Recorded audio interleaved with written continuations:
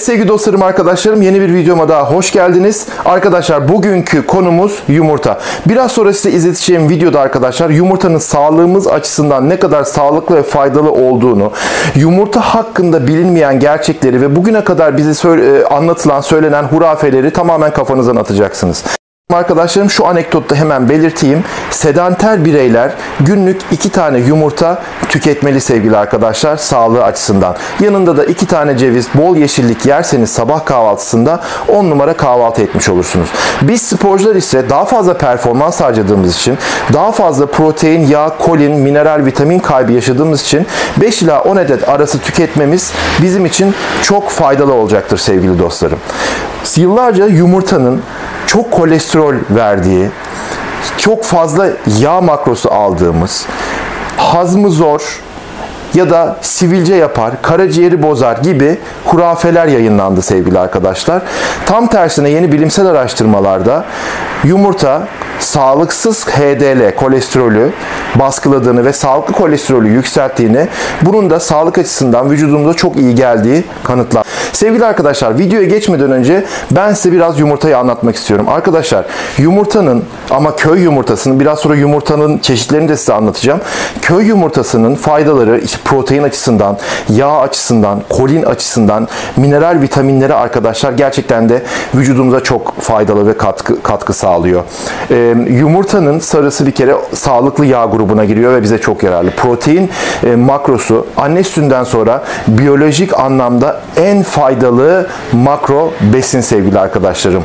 Bizi birçok sağlık sıkıntısından bile koruyor diyebilirim. Bir sonraki videoda izleyeceksiniz. Şimdi sevgili arkadaşlar yumurta 4 çeşittir. 0, 1, 2, 3 olarak ayrılır.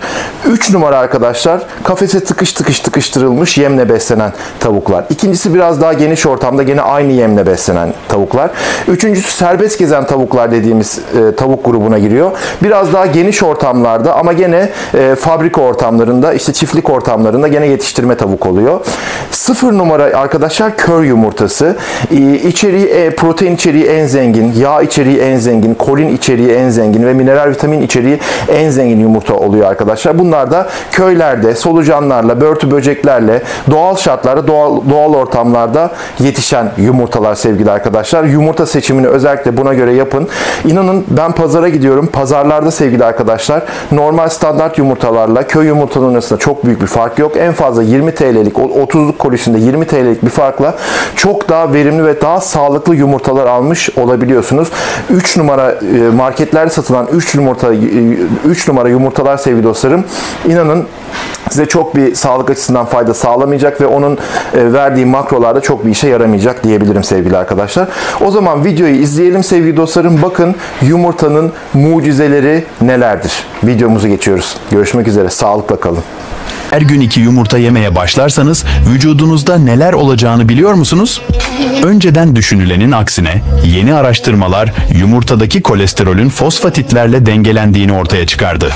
Yani yumurta sağlığımıza zararlı değil, aksine vücudun kolesterol üretimini engelliyor. Bunun üzerine omega 3 içeriyor ve trigliserit düzeyini düzenliyor.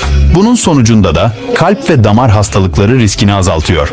Ayrıca bahsi geçen fosfolipitler karaciğerdeki toksinlerin atılmasına da yardımcı oluyor. Günde iki yumurta yerseniz vücudun beslenmesinde önemli bir rol oynayan ve eksikliği durumunda unutkanlığa neden olan kolin adı verilen maddeden yeteri kadar almış olursunuz. Kolin aynı zamanda kanser riskini de azaltıyor.